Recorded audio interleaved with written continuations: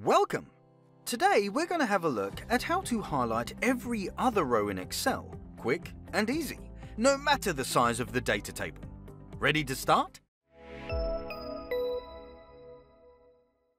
Hello and welcome to EasyClick Academy.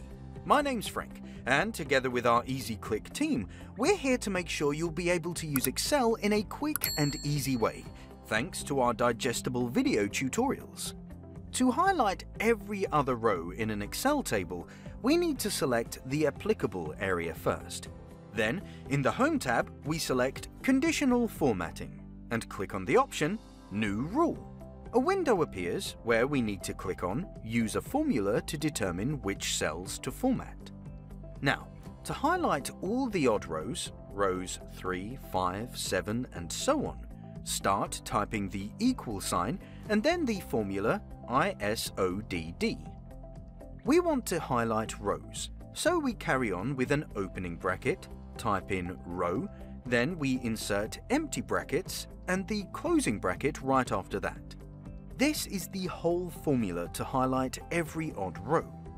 We included this formula in the video description below, so you'll have it at hand at any time you need. Now we need to specify how we want to highlight the rows. So Click on Format and you'll see all the possible formatting options for these rows. We just want to highlight rows, so we'll go to the tab, Fill, and choose, for example, this light blue. Of course, you can go for any colour you want.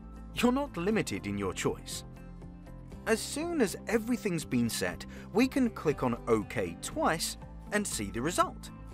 Every other row in the table has been highlighted according to the used settings. Highlighting rows through conditional formatting is great in a way that if you use the filter to reorganize the data in the table, every other row still remains highlighted. The highlighting does not move with the data, and the table stays visually neat and clear. But what if we need to highlight every even row? That's actually a cinch to do now. Here's how. Click anywhere into the data table, go to Conditional Formatting and select Manage Rules. You can see the rule we're using right now, the rule to highlight every odd row. So now, when we want to highlight the even rows, which are rows 4, 6, 8 and so on, we click on the rule, then click on the button Edit Rule. Then we simply overwrite odd with even in the formula. The rest of the formula remains as is. Again, click on OK, and that's all it takes. Each even row in the table has now been highlighted. There's one thing worth mentioning before we wrap it up for today. To remove the formatting from the table, click on Conditional Formatting. Then go to Clear Rules and select clear rules from entire sheet, which will remove the highlighting in no time at all. If you found this tutorial helpful, give us a like and watch another video tutorial by EasyClick Academy. Learn how to use Excel in a quick and easy way. Is this your first time on EasyClick? We'll be more than happy to welcome you in our online community.